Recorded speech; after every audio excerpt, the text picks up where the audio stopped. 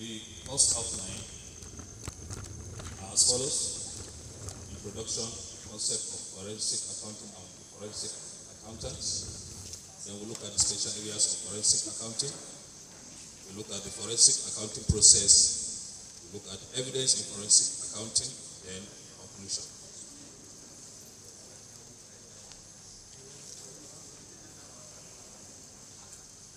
We cannot uh, discuss forensic without going back a little to what accounting is all about. As we know, accounting has come a long way and often adapted to changes in its environment.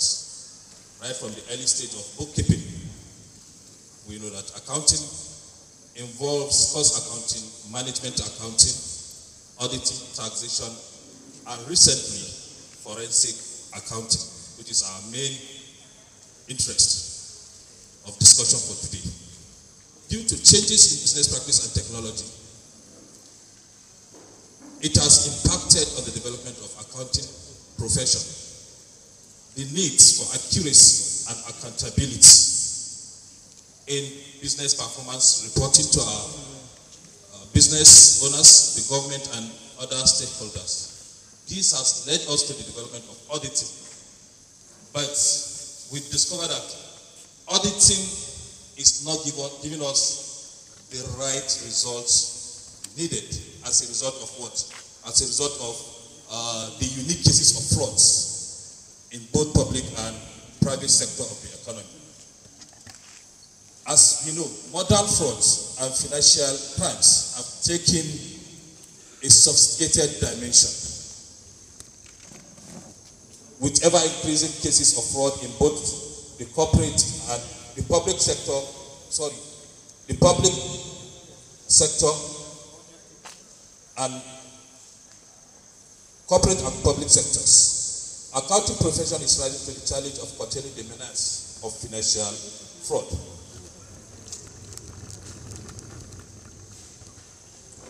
This has led to the emergence and popularity of forensic accounting whose initial purpose was to provide forensic evidence in the court against perpetrator, perpetrators of financial frauds. Forensic accounting, as we know, it has to do with investigation, proper investigation, because it's a case that we have to present in the court, and we must have evidence to prove it in the courts. Field of forensic accounting and investigation is no doubt a popular area of concern of professional accountants, as a professional accountant must have a knowledge of forensic accounting. Because as you are sleeping, others are there peeping into organizational account or individual accounts. They are not sleeping. They are working 24 hours on how to divert your fund, your personal account, to their own use. You just wake up and discover that you have debit alerts.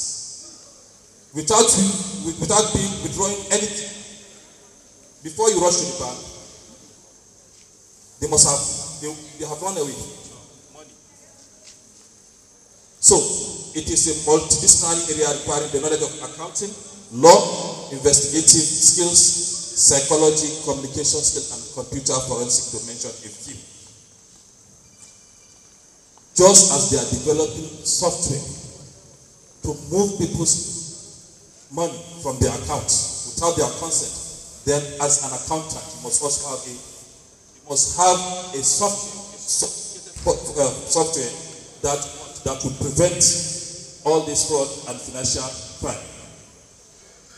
From the foregoing, forensic accounting is a very broad area. Therefore, the purpose of this paper is to discuss the basic area of concern in forensic accounting investigation.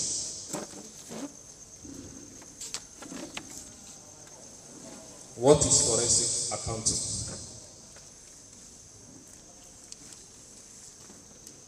It is a scientific accounting method of uncovering, analyzing, resolving, and preventing fraud, white collar crime, white collar crime matters in a manner that produces admissible evidence which is capable of proving or disapproving facts in issues stated in the court of law. You, you have to be intelligent enough. You have to get your facts. And you have to what? Make a thorough investigation. Either physical facts or testimony. You can also get your facts from what? From camera. We are advanced. The, the common pen can serve as your evidence for you to prove the case in the court. That's why at times you see that the offenders will be taken to court and at the, end, at the end of the day they are free because you don't have enough evidence to prove it. So we must have we must get the evidence to be able to prove it in the court of law. We can also see the definition of forensic accounting as the action of identifying you have to identify. That's you have to study the background, recording, settling, extracting, sorting, reporting, and verifying past financial data or other accounting activities for settling current or prospective legal disputes or using such past financial data for projecting future financial data to settle legal disputes. As we can see, forensic accounting has to do with legal battle. then we have to what? We have to have all the necessary skills to be able to what? To be able to achieve our aim. You must have the law, uh, the, the knowledge of law, planning and preparation. You must have the knowledge of litigation, mediation, arbitration, and the rest for us to be able to prove our point in the court of law. If not, the criminals will go free if you don't have evidence to prove them.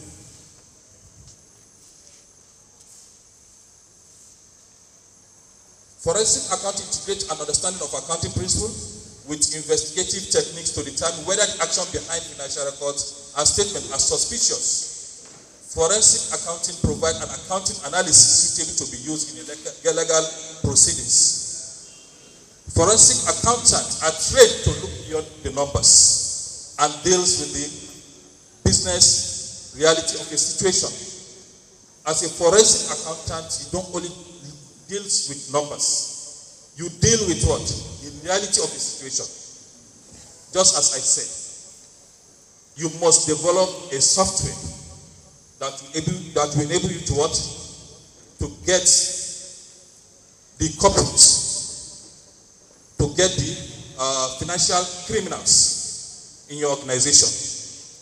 Forensic accounting analyze, interpret, and summarize complex financial and business matters. They may be employed by insurance companies, banks, police forces, government agencies, or public accounting firms. Today, if you go to some organization, they have a department for forensic purpose, for forensic investigation purpose. Their work is to what? Is to identify or detect the, the, the, the modern fraud and financial crimes in an organization. Forensic accountant compile financial evidence, just as I said, develop computer application to manage information collected and communicate the findings in the form of report or presentation. Along with testifying in court, a forensic accountant may be asked to prepare visual aid to support trial evidence.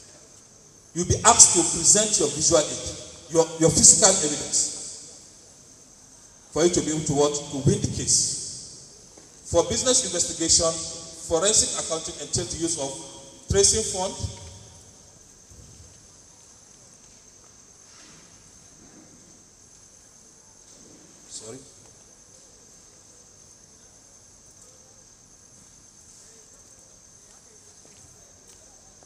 asset identification and asset recovery, and due diligence reviews. It's the work of forensic accountant to trace funds, to recover funds, both within and across borders, based on the tips given to you. Forensic accountant may seek out additional training in alternative dispute resolution due to the high level of involvement in legal issues, and familiarity with judicial outcome.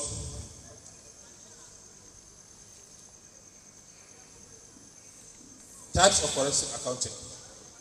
We have investigative accounting, we have forensic investigation, we have forensic taxation, we have forensic auditing, we have digital forensic, then we have fraud investigation. These are the types of forensic forensic accounting. Objectives of forensic accounting. The first one we use for forensic to use the forensic accountant conclusion to facilitate statements, claim, or jury to restore the downgraded public confidence, to avoid fraud and theft, to create a positive work environment. Importance of forensic accounting. The first one is complex litigation. Forensic accountants can give a helping hand by defining complicated financial issues and relaying them in a way that both attorneys and their clients understand better. Government investigation. Forensic accountants investigative ability can be put to good use, not only in standard civil disputes, but also in larger government investigation. Just as we have the uh, anti-crime agencies, they have their own forest, forensic units that helps governments to, to solve civil disputes, minimizes number three, minimize loss, losses the primary benefit of studying forensic accounting is how it can help minimize and prevent unnecessary loss. Day in, day out, we are losing money. Day in, day out, we are losing our assets. We are losing our resources in the hands of people, unpatriotic citizens. Then we have to what? We have to make sure that we minimize it. If you cannot do away with it at all, at least we should minimize it to the barest minimum level. Prevention and risk management.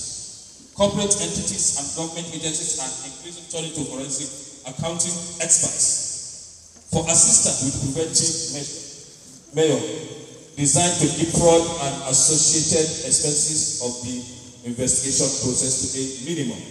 Lastly, reduce exploitation risk by proactively patching any obvious gaps in current financial operational standard.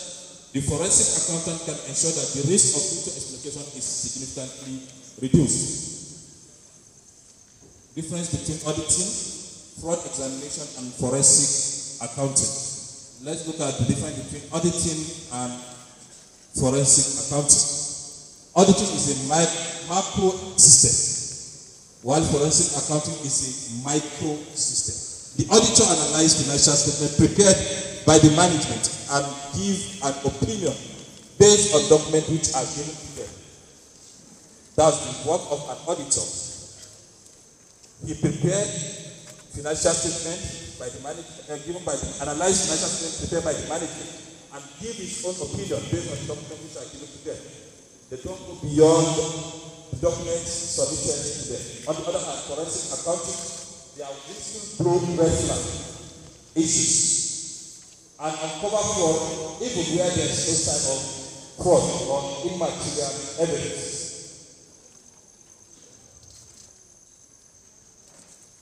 These are the features that can help us to differentiate audit, fraud examination, forensic accounting, we look at it. In the future, we have time perspective, we have primary focus, we have investigation scope, main work product, main responsibility, then guidelines, the purpose of report and professional and professional stance. In audit, the third perspective is historical, and the same thing with fraud examination, while in forensic accounting is future and historical. Primary focus is periodic, time to time. Fraud examination is reactive, proactive, and ongoing in forensic accounting. Investigation scope is narrow audit, is narrow in fraud examination, while it's broad ranging. Main work product is audit opinion in audit, while in fraud examination it's fraud case report. In forensic accounting it's forensic audit report, while the main responsibility is company and public in audit, while in fraud examination is defrauded party, while the forensic accounting has to do with concerned principal or third but guidelines are rule-based in audit, principle-based under audit rule, it is rule-based in fraud examination, then we have principle-based in forensic accounting. Purpose of report, ensure GAAP is followed, identify perpetrator of fraud, then fraud risk assessment and strategic service, while professional stance is non-technical, that's non-adversarial, adversarial and adversarial and non-adversarial. Let's look at the concept. Let's look at the who is sorry who is forensic accountant. A forensic accountant draws on various resources to obtain relevant financial evidence and to interpret and present this evidence in a manner that will assist both parties. The skills required by forensic accountants. They are as follows. Good analytical skills, creative thinking skills, knowledge of the legal environment, problem-solving competence, investigative flexibility, oral and written communication ability, then practical business experience. These are the skills required by a forensic accountant. Application of forensic accounting by forensic accountants. Fraud and white collar crime investigation. Prepare of expert reports, reviews, and evidence. Insolvency and liquidation support investigation. Fraud and fraud tracing. Civil and criminal action regarding fraud and financial irregularities. Breach of contract. Breach of warranty, particularly on company acquisitions. Liquidation support special and confidential investigation, financial surveillance, background checks. Knowledge of forensic accountant, fundamental knowledge. These are the knowledge that are required by a forensic accountant.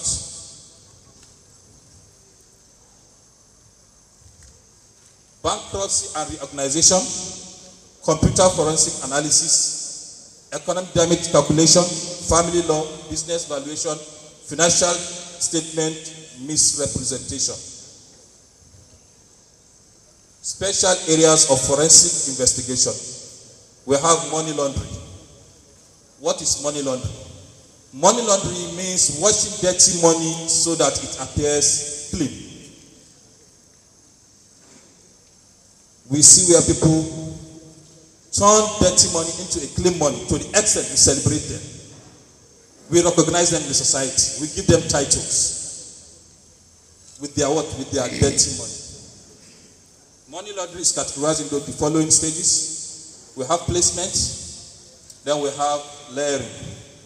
This is the first stage in which, in the washing circle, money laundering is a cash intensive business generating vast amount of cash from illegal activities. For example, street dealing of drugs, where payment takes the form of cash in small denominations. The money are placed into financial statement, sorry, into financial system or retail economy, or are smuggled out of the country. You see, you see people transacting with small amount of the business they are running does not, or is not, does not require large amount of money. But you see them accumulating huge amount of wealth, building mansions with just a small shop in the town or in the market. You'll be wondering, is this this business that is fetching this money? Without knowing that they are engaged into what? Into money laundering. Or someone will tell you that he's into business, but you don't know the business is into. He's doing business, the business in his bedroom with a small computer. He will tell you that he's into business, but you don't know the actual. Press pressurize him, you cannot tell the type of business he's into. Maybe it's engaged in uh, what you call uh, transfer or so, or uh, bunkering. But it's owning a small shop in the town just to serve as what? As a cover. Then we have layering. While layering, there is the first, this is the first attempt to, there is the first attempt at concealment or disguise of the sources of the ownership of the funds by creating complex layers of financial transactions designed to disguise the audit trail and provide anonymity. Uh, anonymity. The purpose of layering is to disassociate the illegal monies from the source of the crime by purposely creating a complex web of financial transactions aimed at concealing any audit trail as well as the source and ownership of the fund. At times, people accumulate wealth and use third party or another person's name, not using their own personal name. They use other people's, or they use other people's company. Sorry.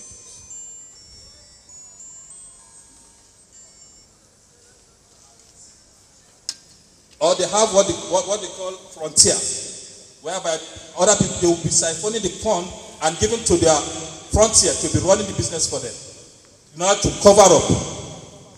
That's what it means by layering. Then we have stages of money laundering. We have integration, justification. The goal in this stage is to create an apparent legal origin of the criminal proceed. This can be done by doing business with yourself that's fortifying sources of income, capital gain, or loans. You are the owner of the business and you are the customer of the business. Disguise the ownership of assets by using either your children's name, family, uh, brother's name, wife name, uh, friend's name, and so on and so forth. You are disguising the ownership of the asset. Using the criminal proceeds in transaction with third parties then secondly, we have integration investment. The goals in this stage is to use criminal proceeds for personal benefit. That's cash, electronic money, and cryptocurrency can be used for safekeeping, consumption, and investing. Then asset tracing and recovery. Asset tracing and recovery is the process through which a stolen or disputed asset are traced for the purpose of reclaiming it by the rightful owner. Assets can be traced at both local and across boundaries. It can be traced by the government, corporate organizations, and individuals. It is also seen as the process of conducting financial investigation to determine the rightful owner of assets and examine and examining revenue generated by criminal activities by following its trails. Purpose of asset tracing.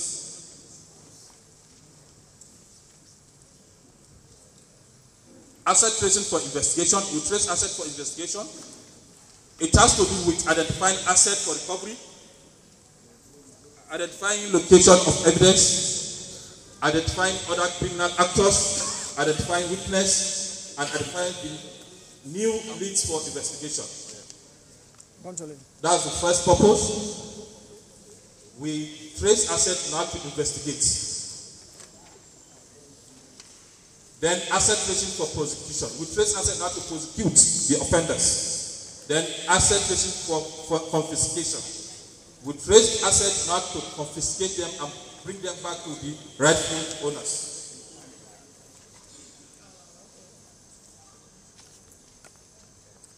Sources of information for asset tracing. These are the sources through which you can gather information now to trace assets either locally or across boundaries. We have criminal complaints and proceedings, financial intelligence unit, civil or administrative proceedings, spontaneous disclosure, we have auditors, we have whistleblowers, we have media and civil society reports, assets and income declaration by public officials, we have intelligence services, proactive we have proactive investigation. Let's look at the forensic investigation process.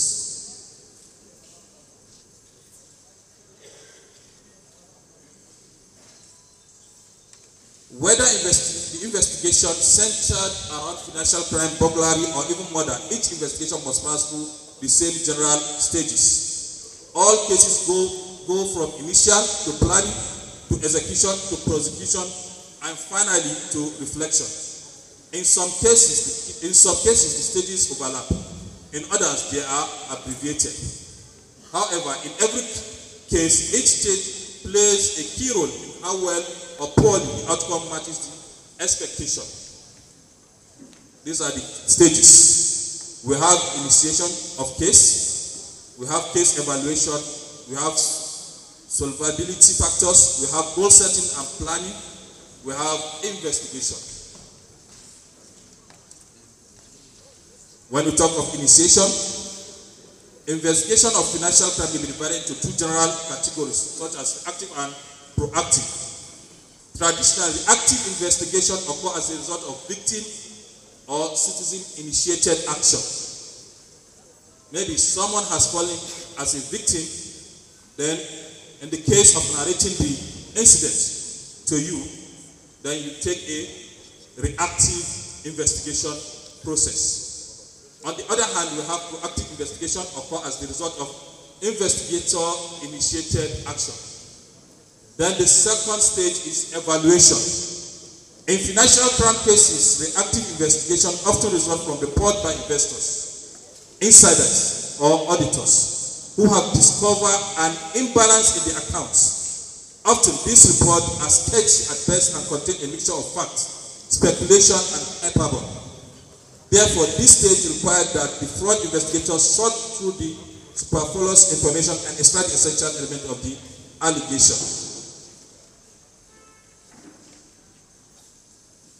We have solvability factors. Solvability factors are those characteristics of an incident that help to predict how successful an investigation will be. Unfortunately, not all cases are solvable, whether in the private or public sector. It is necessary to help identify those unsolvable cases as soon as possible, not to waste our time and waste what, and not to waste resources and energy. After the unsolved cases have been identified, they can be discarded allowing more time for investigating cases with high probability of solution. We should spend much of our time on the cases that are solvable. Goal setting and planning. The investigator's task is result oriented. To be able to have a successful investigation, it requires goal setting and good planning without which even a good investigator might not be able to unravel in a case. You have to plan, you have to set your goals. You must know what you want to achieve in the investigation, in what you are investigating. Financial crime investigation often involve large volume of information that require thorough analysis with a good plan. It then becomes very difficult to effectively carry out the investigation. You must plan, you must set in your goals, you must gather your facts. You must gather all the necessary information that will help you to defend your case in the court of law.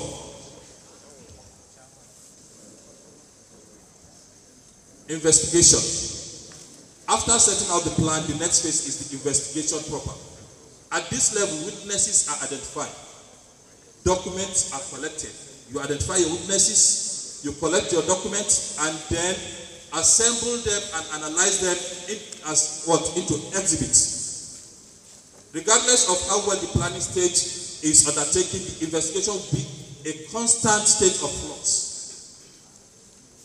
Silverstone and Etal, 2007, suggested several ways through which investigation produce good results. These are, you must have a background, just as I said earlier. The case must have a background. You must understand, have a good understanding of the case. You must carry out investigative due diligence. Then you must have intelligence gathering. Then you must have your evidence in forensic investigation.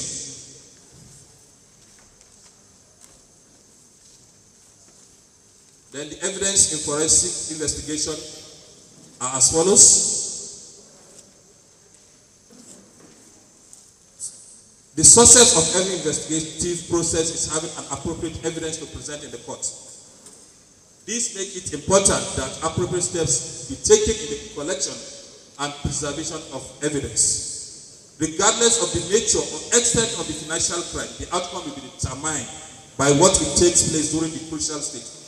Forensic accountant must have a comprehensive knowledge of evidence gathering techniques along with the confidence to put them into practice.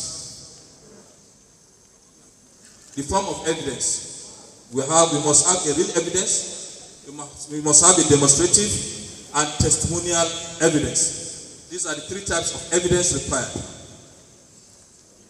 Let's look at the testimonial evidence. This refers to the oral statement made by witnesses under oath.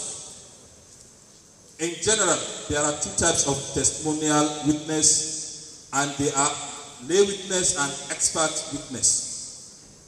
A lay witness is a non-expert witness who must testify from personal knowledge about a matter at issue, while an expert is a person who, by reason of education, training, skill, or experience, is qualified to render an opinion or otherwise testify in areas relevant to the resolution of legal disputes. Then the real evidence. This type of evidence describes physical objects that play a part in the issue being litigated. The term includes both documentary evidence such as cancelled checks, invoice, invoices, ledgers, and letters, as well as other types of physical evidence. Therefore, a typewriter or printer in a case involving question documents is clearly real evidence. As it is a tape recording, since member of the court can hear the sound at first hand. We have demonstrative evidence. This is a tangible item that illustrates some material proposition. For example, a map, chart, or summary. This is different from real evidence because it was not part of the underlying event. It was created specifically for the trial. Its purpose is to provide a visual aid for the jury. Not the, nonetheless, demonstrating evidence is evidence and can be considered by the jury in reaching a verdict. Evidence gathering procedures. These are the procedures through which you can gather the evidence confirmation, observation, physical examination, the performance analytical procedures, inquiry compliance, and documentation. Sources of evidence in forensic investigation.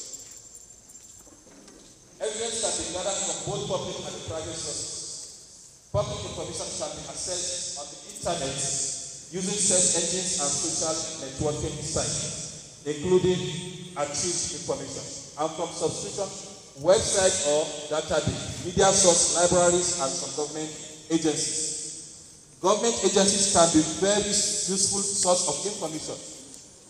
The government agencies likely to have relevant information with respect to asset tracing are financial intelligence units, immigration and border crossing authority, customs, tax authorities, auditing agencies, real property and vehicle registries, civil record repositories, court record repositories. These are the sources of uh, these are the sources of evidence under government in forensic investigation.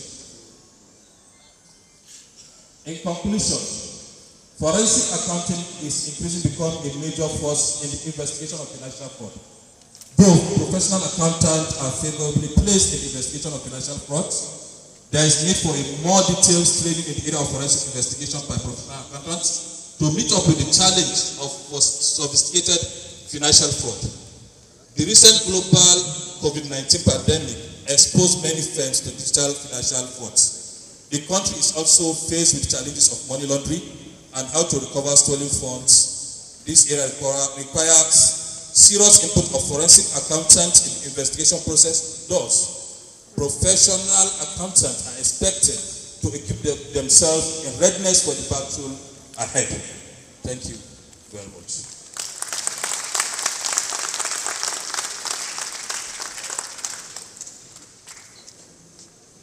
Please, let's celebrate Dr. Umar Farouk Abdullahi, please. A one round of applause for him once again. At this point in time, having listened to this very important and highly seasoned paper, we would be inviting the chairman of the MCPD committee, Chief Peter Ayawo, FCNA, to give us an analysis of this paper. You're welcome, sir. Adio, awo. Please, a warm round of applause for the chairman of the MCPD committee.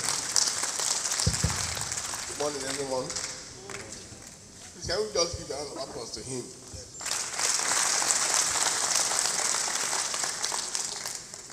Like I said yesterday, accounting is now treating to another different side. We're going basically into computerization. Auditors, people that are auditors are here. You know what you do in your normal daily job. Now we're talking about forensic investigation. In fact, as we speak, forensic investigation is courses. They are taking the courses now in universities. A lot universities are making it a course, a regular course for them. So what I keep on advising is this. Open your bag. Look at your, our course, our, our, our, our book. Go through that thing you will see and you have to you get a lot of knowledge from this forensic investigation teaching. Because we are going into forensic now. As a matter of fact if you are an auditor and you are not having a part of forensic with you you are not making any headway. Are you, are you get what i mean? And we been advised you know that annan have a body a forensic uh, especially for forensic uh, body now if you have the time, go into deep forensic investigation courses. I'm a forensic accountant as well. You can qualify.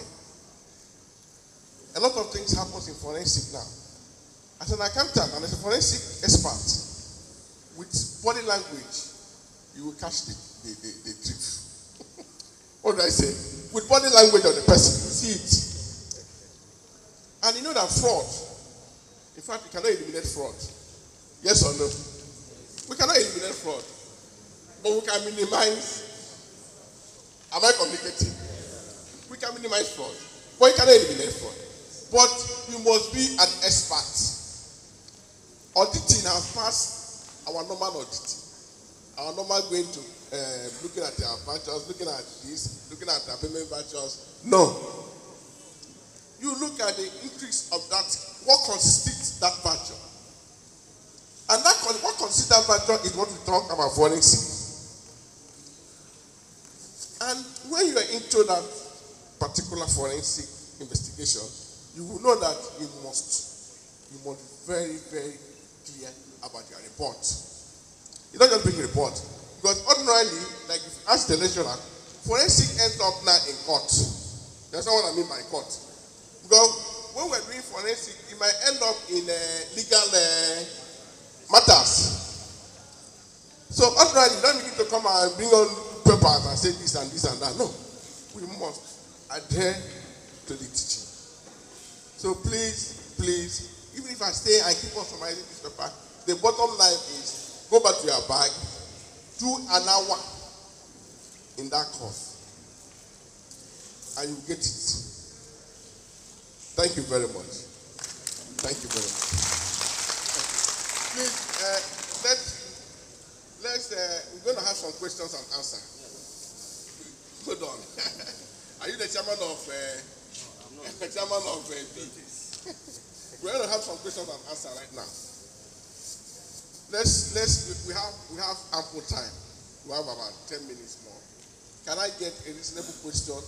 Four questions. Two you know, yesterday the deputy governor talked about gender representatives. Gender, are you here? Two female, two male. One. Let's get them fine. Come, come on here, please. Please, please. Any? Sir, come, please. Okay, good. Please, hold on. The remaining two, please. Any female? What's that? No, don't take light to film. So, any female anywhere? Okay. If you, if you want to ask questions, come out. Come, please, come inside. No other person. Okay, please. No other person again. My name is Sani Sainuma. Membership number is 23127. I really appreciate the presentation and the very, very nice presentation. But uh, I have questions. Uh, you said that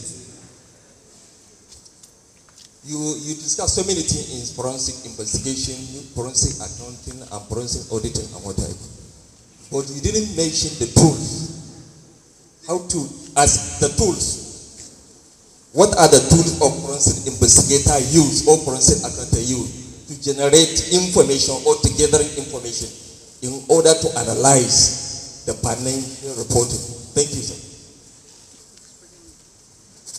I think uh, I have mentioned that When we talk of accounting, we talk of values, that is figures. But forensic, uh, forensic accounting, it goes beyond the figures.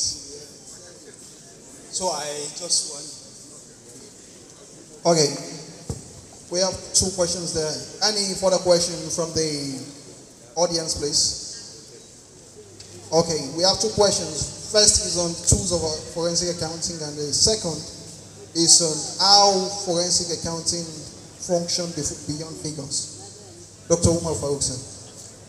Uh, I think I made maybe it came late when I measured it. I said the work of uh, an accountant or forensic accountant is beyond numbers. It has to do with reality. I mentioned that. I think so. Okay, good. Then uh, the tools used. I think you made mention of tools. Okay. I said we have uh, uh, financial intelligence units with, where you can get your information from. Then uh, civil or administrative proceedings. Then you can also get your information from auditors. They can serve as also your tools of gathering information. Then we have whistle blowers. You can also, yes, I have mentioned uh, media and civil reports. And even individual can supply with information. The only thing you need to you, uh, know is that the information must be what? Must be genuine. It must be accurate for you to be able to present it in the court of law. Thank you. Are you convinced? Please, a very warm round of applause for Dr. Omar Farouk Abdullahi. At this point in time, on this very momentous occasion, I am so have some very salient announcements to make. We are online on various social media channels, and that is to tell you how ANAN has extended and expanded our tentacles all over the globe. On Facebook, you can connect with us on Association of National Accountants of Nigeria with the ANAN logo to distinguish us, the ANAN new logo.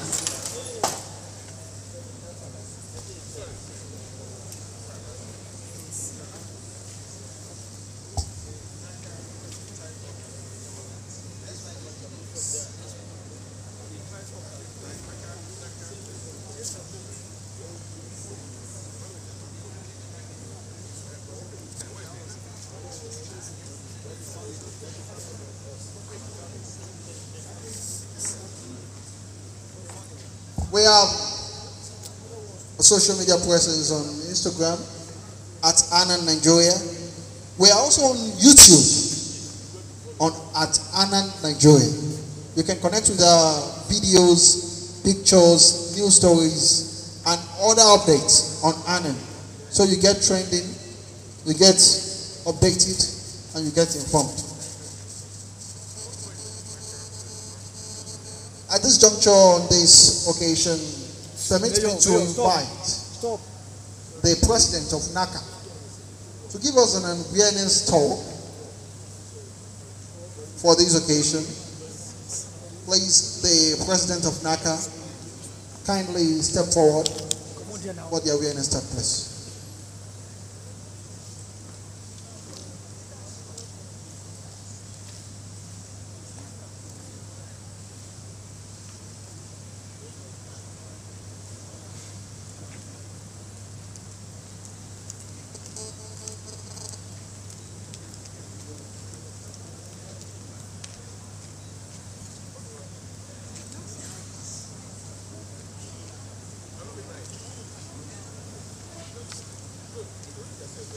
Okay, we have uh, the members of the Nigerian College of Accountancy Alumni Association, and they will be giving us some sensitization on some very salient information. Please, Alhaji Habibu.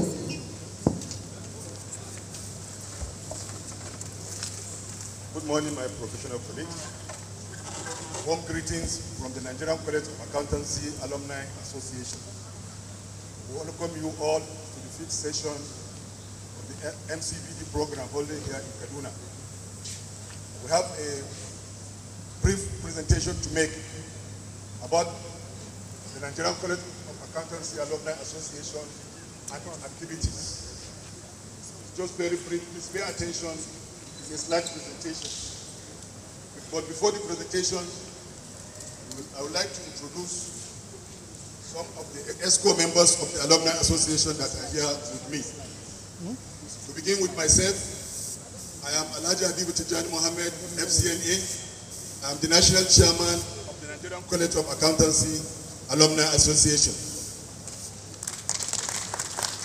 Good morning, professional colleagues. My name is Superintendent Route Commander Ngozi Chukwujeku, FCNA. That's right.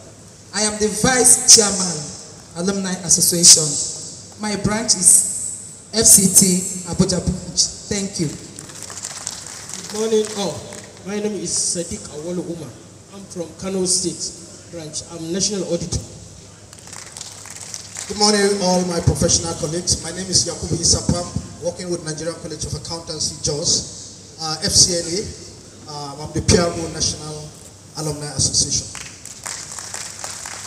Good morning once again. My name is Abakar Sadiq Mohammed. I'm from the branch in Kaduna State here, and I'll be doing the presentation.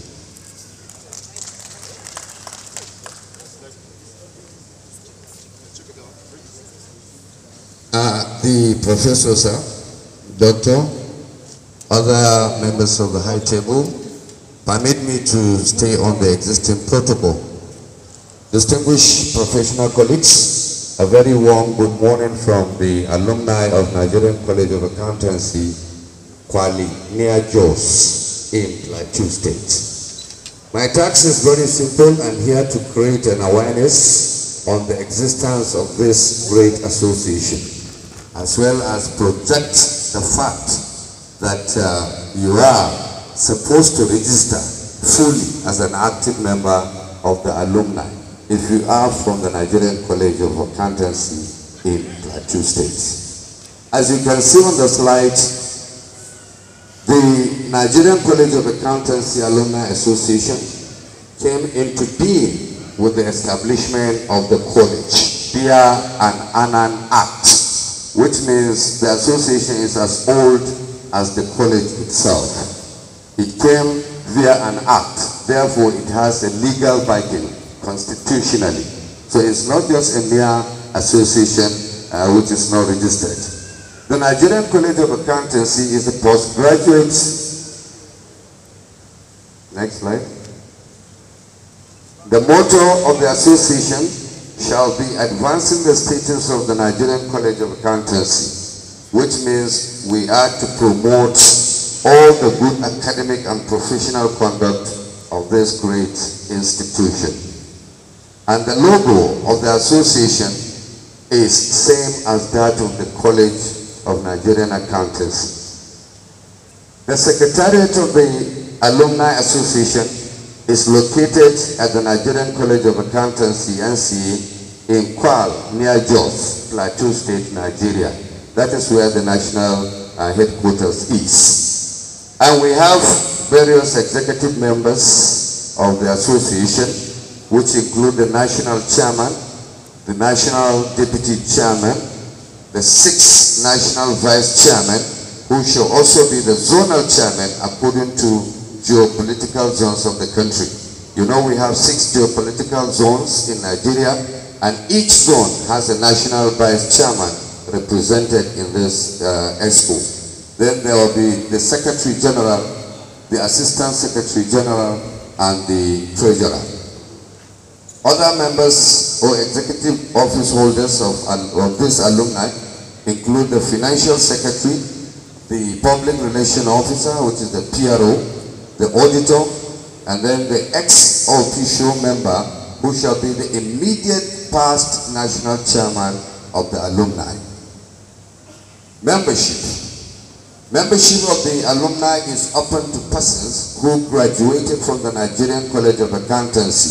So if you are a graduate of Nigerian College of Accountancy, you are automatically a member if you register and must have obtained the postgraduate professional diploma of the college with studentship number, which means you must be legally a graduate of that college with the college number.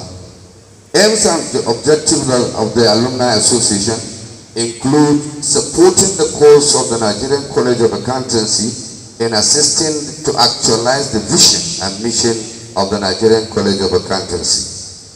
One of the aims also include providing direct assistance, advancement and support for the development of the college. The alumni intend to also promote, enhance and protect the image of the college and the ANAN itself. It will also provide scholarships, prizes and awards in accountancy and funding of research work in this field.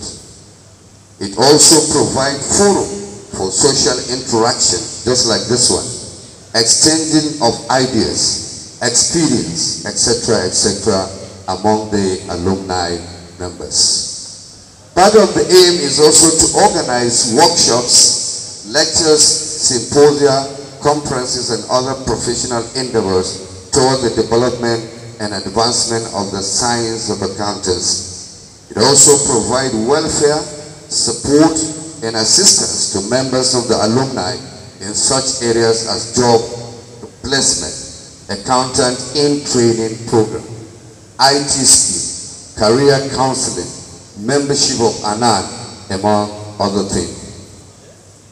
It also plays a leading role in the welfare of all alumni members, which means it enhances it, uh, its membership welfare. It also creates credible alumni database to ensure continuous and positive contact with the college, the Nigerian College of Accountancy. How does the alumni generate its funding? It has some sources. One of it is through registration fee by members, which is fixed at a meager amount of only 5,000 naira only. What is 5,000 to an accountant? it also generates its fund from the annual subscription, which is placed at 1,000 naira and, and other sources include. Annually, this 1,000 naira is an annual subscription you only pay it after 12 months or 360 days. Then there will be levies which are imposed on members when they need. For payment of registration fees, annual subscription and donation, the following are bank details. This is the bank that alumni operates. Nigerian College of Accountancy Alumni Association, which is the name of the account, and the account number is 2012762552 and the bank is First Bank of Nigeria PLC. I hope you must have copied this one so that uh, huh? I'll take it again. The bank and the bank is First Bank of Nigeria PLC. This is the account for donations and subscription to alumni. Projects donated to the college. The Alumni Association has donated to the college, which is the Nigerian Accountancy, include police outpost located at the college premises to boost and enhance security. Then there is a basketball court for people like me who are very tall. Furthermore, the Alumni Association have been assisting the college in carrying its corporate social responsibilities to the host community. And the association also intends to build a recreational center in the college when funds become available. This is one of the essence of copying that account number for your donation and subscription. Thank you. Next. In conclusion, the Alumni Association of the college felicitate with all new and all graduates of the college and also invite you into the fold of the Alumni Association. We count on your support by settling your obligations and making generous and kind donation, both in cash and in kind. Can you please put your hands together for the alumni? Thank you very much. Thank you, sir. So much. Wonderful presentation. Is there my professional colleagues? Any questions concerning the Nigerian College of Accountancy Alumni Association? Or any contribution or any advice or suggestion?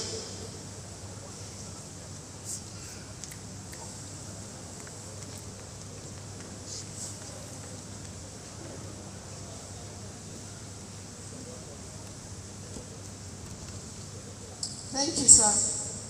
My question is, after making the payment, what next? Yes, after we make this payment, what is the next procedure? Is it just making the payment and that's all? Thank you.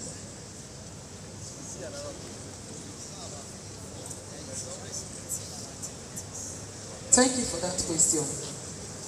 Like you see in the slide, those funds to support the college and build so many things there. And we normally have our AGM. When we call for AGM, if you come up, you see your income and expenditure, the financial statement, you see there. Everything about us is transparent. And remember, those bills makes you the part of us. Because already, I don't know whether anybody here is not part of us. Because I know many of us pass out from the college. If you want to take the random sampling, you know that most most of us are members. So the money is for the work, the college, the support at the college and everything.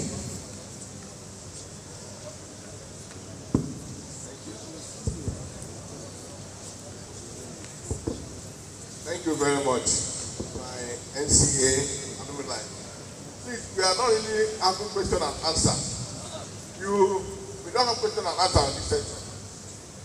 Just register. I'm also a member. Register. Follow up what they do online. They have ATM, as you said. Come for the meeting. Then, like they all said again, you need to go to college and see what I have done there. So it's part of what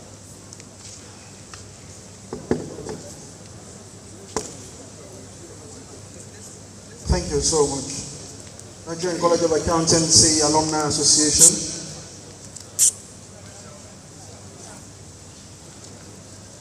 Good morning to you all. Once again, distinguished professional colleagues, guests, ladies and gentlemen.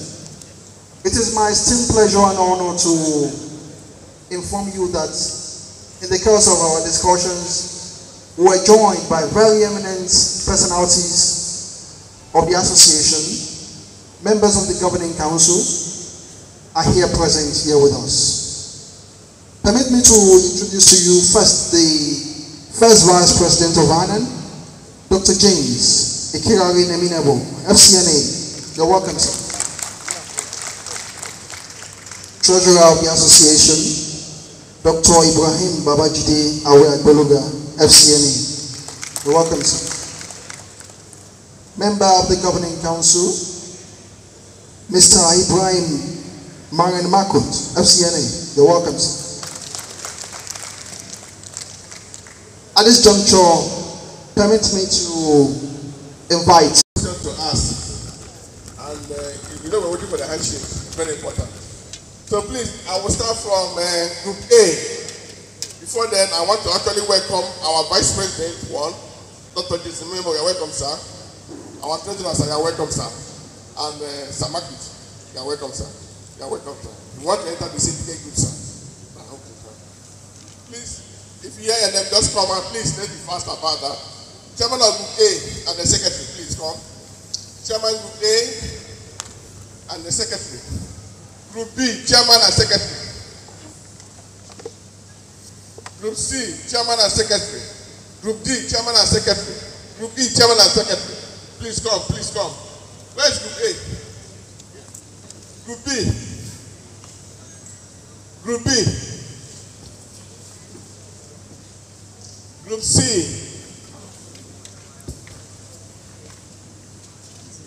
And Group E.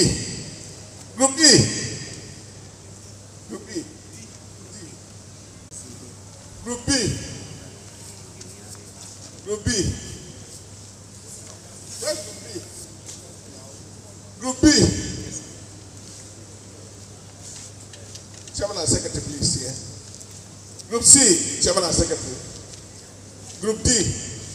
Chairman. Group E, where's your Chairman? Eh? Who will present? Who will present for us? Any of them. Eh? Yes. So please, my my professional colleagues, we're going to watch them present, and we're going to judge them. And today, we'll see who comes first. No matter we don't have first in Anam, but we'll see who comes first. Thank you. So Group A, it's your turn. Are you ready to present? You know your course? Digital accounting. You're welcome. Introduce your name, your membership number. Are you a Whatever. Stand there now. All protocol duly observed and respected. My professional colleagues, I am Mohamed Abubakar Zurungwa from Taraba State, the group chairman of Group A. Please clap for him. Good morning, distinguished professional colleagues. I'm Susan Jiboku from FCT Abuja. Thank you. I'm the secretary of Group A. Professional colleagues, our work this morning is very simple. It's just to bring the recap of what was presented by Professor Adebayo yesterday on digital accounting. The essence of this paper is to provoke you, reawaken you from your sleep, and know that obtaining this certificate alone is not a yardstick of becoming a 21st century accountant. Like rightly captured by Professor Adebayo yesterday, 30 years ago, the biggest device being used by an accountant is the calculator. But today, all of us will agree, calculator is the smallest device you even need in your office because technology has taken over. Therefore, you are welcome to the world of digital accounting. We said digital accounting is the formation, representation, and transmission of financial data in an electronic format. Basically, from this definition, you understand that as an accountant, without the knowledge of a computer, you cannot do anything in the field of accounting these days. This does not in any way mean that technology or robot has taken over your responsibility. It is just a challenge for you to be friendly, be conversant with the latest uh, trend, and update yourself to represent a 21st century accountant. As rightly mentioned, there are challenges this trend is coming with. One of the challenges is the artificial intelligence, is also the cybercrime activities, which has bedeviled a lot of activities that has to do with accounting data. Therefore, as a 21st century auditor or an accountant, you need to be conversant with how all these things work and do not look at them as a threat, but rather look at them as a trend that has come to challenge you to upskill your own skill, to also upgrade your learning standard to meet the challenges of the 21st century. Ladies and gentlemen, when it comes to artificial intelligence, we understand that automation has taken over most of the many works we used to do in our office. One machine will do the work of 500 people. But that shouldn't scare you because you still have a role to play. That machine can only work when you give it what you give. Therefore, you are needed, you need to make yourself very conversant and also understand how the machine works and also define your own responsibility. You cannot do all these things if you don't have the knowledge. The presentation yesterday was centered on encouraging us to be very conversant with 21st century devices. That is computer. You cannot be an accountant if you don't have the knowledge of computer. Of uh, cybercrime, you should understand that you have the right to generate data, transmit, and also store them. Those data you are generating shouldn't just be the one of your own organization or the one of your own office. It is your responsibility as a leader in the financial field to also protect the data of your own clients. How do you do this if you don't know how hackers work, how they hack, what you need to turn on devices? Knowledge of computer is very important. Ladies and gentlemen, I am going to leave you with this quote as rightly captured by Professor Adebayo yesterday. He said, 21st century illiterates are not those who who cannot read or write, but those who cannot learn, relearn, and unlearn. From Group A, we are adding that a 21st century illiterate is not someone who cannot read nor write, learn, relearn, and relearn, but somebody, an accountant who cannot operate computer is also equivalent to an illiterate, illiterate in the 21st century. Thank you. Thank you. So we'll be going to the Group B presentation now. Next. Good morning, the members and my professional colleagues. I am Batete Suleiman from Taraba, and My name is Kodogon Timothy Shaku from Plateau State, the secretary of the so we are here to present uh, sustainable development goals and reporting. And I have uh, a few details that I can say about it here, which uh, is can be displayed. But before then,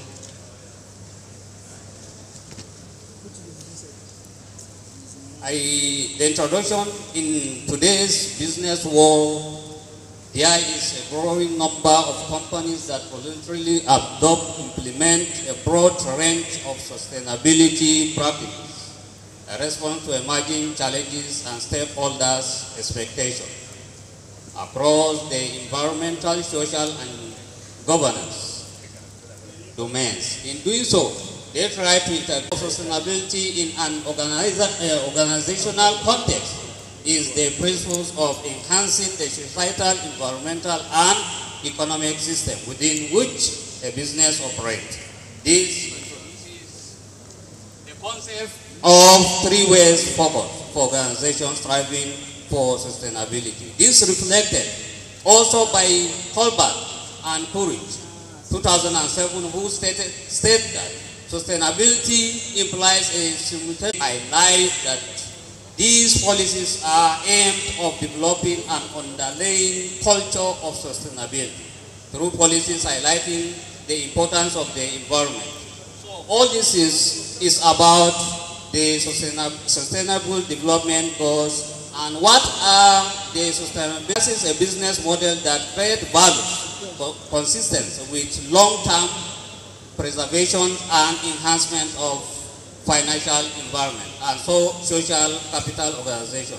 Sustainability report is all is a way of finding source and report appropriate channels so that it can be able to meet the needs of present individuals while taking performance for the needs. In 1987 the World Commission on Environmental and Development, a common feature defines sustainability and development which meets the needs of the present without compromising the ability of future generations to meet their needs. There are four aspects of sustainability which need to be recognized and analyzed, namely social influence, environmental impact, organizational culture, and finance. There is a pillars of sustainability. In 2005, the World Summit on Sustainability Development identifies three core areas that contribute to the philosophy and social science of sustainability development, which are economic development, social development, and environmental protection. And furthermore, evaluation sustainability, which all are part of it. If you, you can go, there is no time for that. And the Rio conference held in Brazil in 1992 was regarded at the time as the greatest implementation of sustainable development at the global level. According to the Paris 2005, the implementation of accord and series of economy. So, in that, there is some primary goals of sustainability development. These ideas are people, planet, prosperity, peace, partnership, and in conclusion, there is some alignment, strategy, compliance, so on and so forth.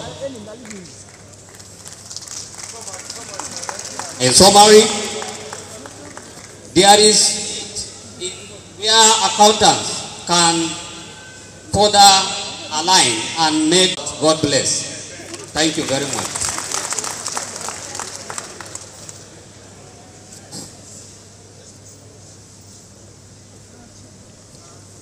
Group C, you can take your presentation now. My name is Ajibola Said Temitope from Kogi State, the chairman of the syndicate Group C.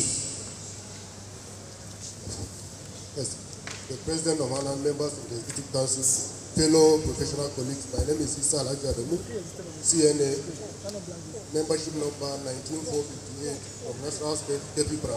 Thank you. My professional colleagues, we are here today to have on the lecture that was delivered yesterday on integrated reporting and value measurement. You can agree with me that this is the break from the norm, and you can also agree with me that major, a larger extent of the people, especially the new inductee, have heard of, have not heard of integrated reporting before. And this is to encourage us all to ensure that we, on annual basis, endeavor to um, to be in this program. Because at the end of the day, we are going to learn one thing or two. We are going to have a recap on the integrated reporting and measure and value measurement. Integrated reporting.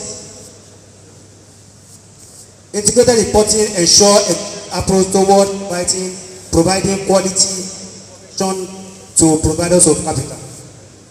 Can with me that before what we have is when we are presenting the financial statement, we only have all the components of financial statement, statement of um, statement of performance and the rest. Not not not time ago, they introduced what we call environmental uh, the um, environmental sustainability.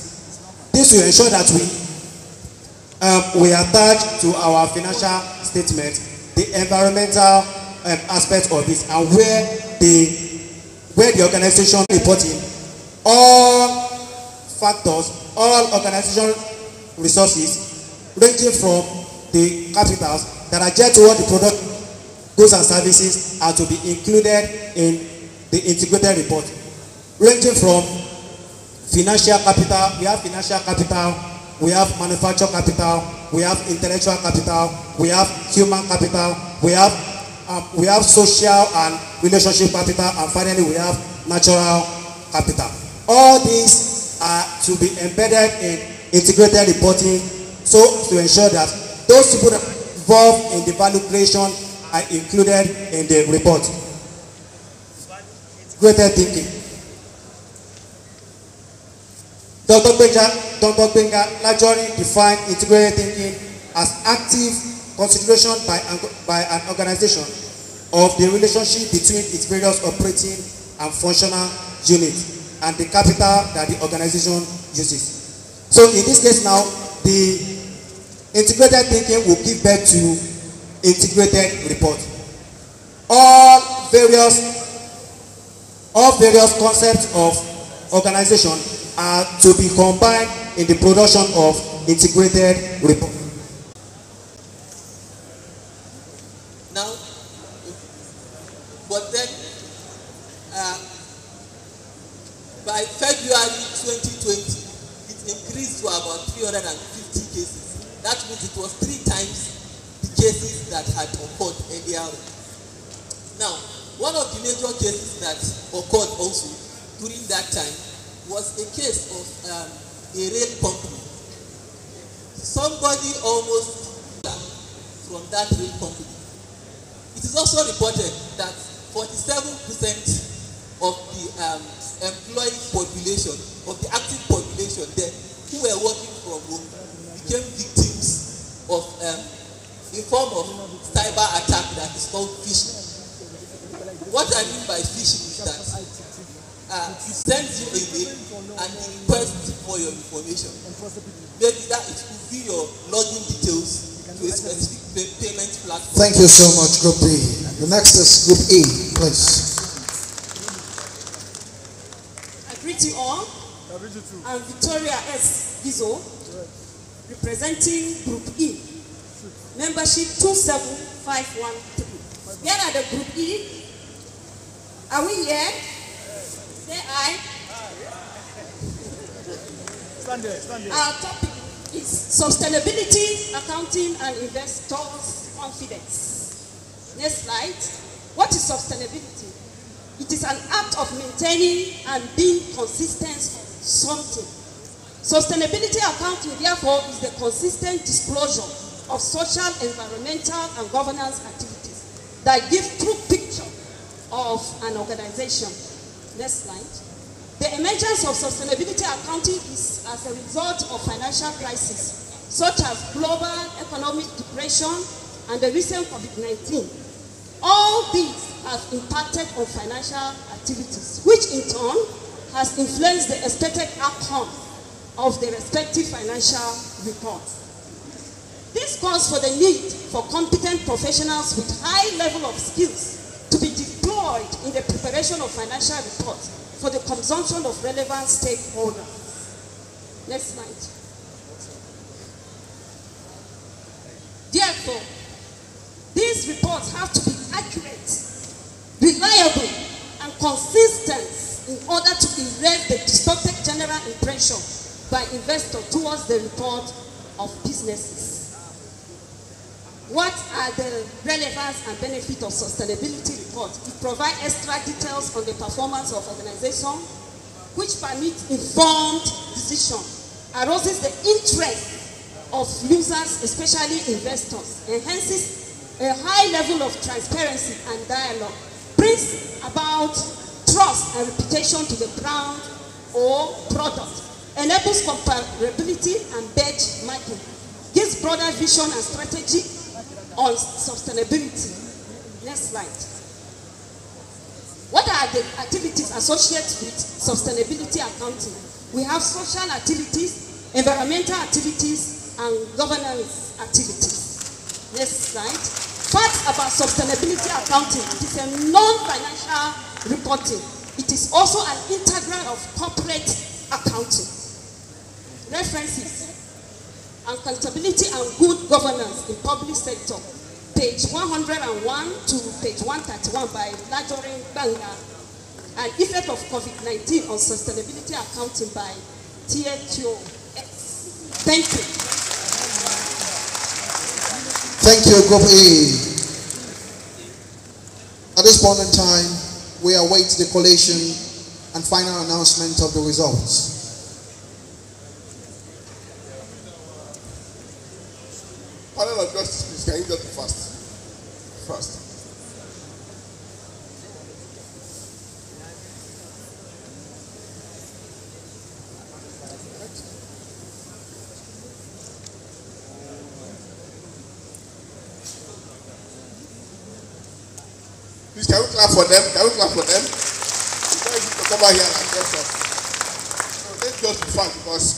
We don't have, we're, running out of time. Please, um, can I start from the fifth person, the fifth group? The group C, 64.5. No, sorry, sorry, sorry. Sorry, sorry, sorry, sorry. Let's start from the fifth group. Let's start from the fifth. And the group is uh, group B. Group B, where is group B? Uh, 51, not 64. Then C, 64.5. Organization group C. Please clap for them. then group D came third, 7.5. Group E came second, 82%. Then group A came first. Uh, can you just turn this way? I want to call on our Vice President one to come and uh, give you a handshake and hand over the gifts from the president. Sir, please, can you address them?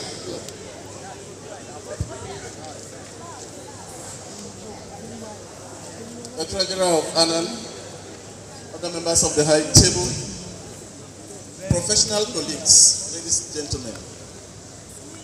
Before I make my presentation, let's look at the syndicate group. Many persons feel that syndicate group in MCPD is a waste of time. Professional colleagues, anything beautiful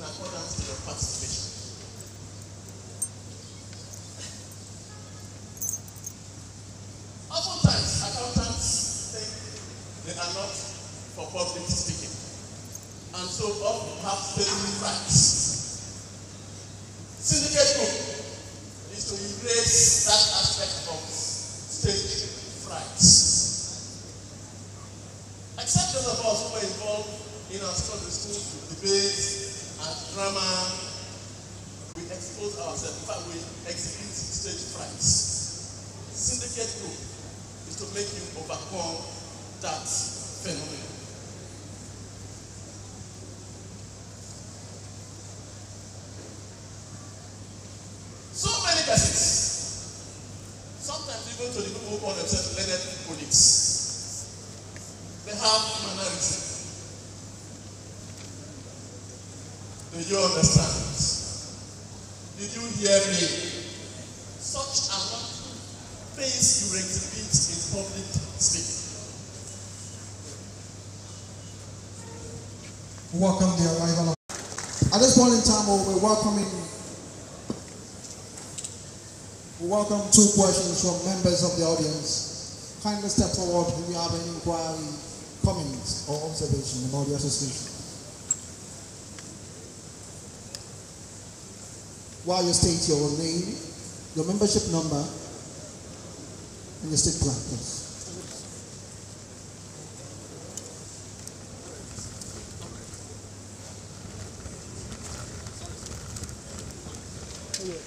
That. They're not even spoiling. They're not telling me watch food. They're not regarding like that. Please, where are the people asking questions? Hey, hey. All uh, protocol delay. I, I stand on the existing uh, protocol. I'm Morunfola Olaskomi Abdulatif from Ofakwara State. With membership number 45424. Please, I want to ask. Yes, sir. Why is it that ANA does not accredit schools, I mean our institutions, like the way ICANN does? I work in a federal polytechnic as a lecturer. And regularly ICANN comes around for accreditations. Any school that fails to do that, their students will not be allowed to sit for the next uh, ICANN examination or to participate in their forthcoming uh, programs. Why is ANA not doing that? Thank you.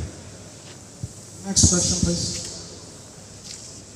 Good morning, my fellow professional colleagues. Good morning. Uh, standing on existing protocol, I'm of Charity from Anambra State. Please, I have one question, sir.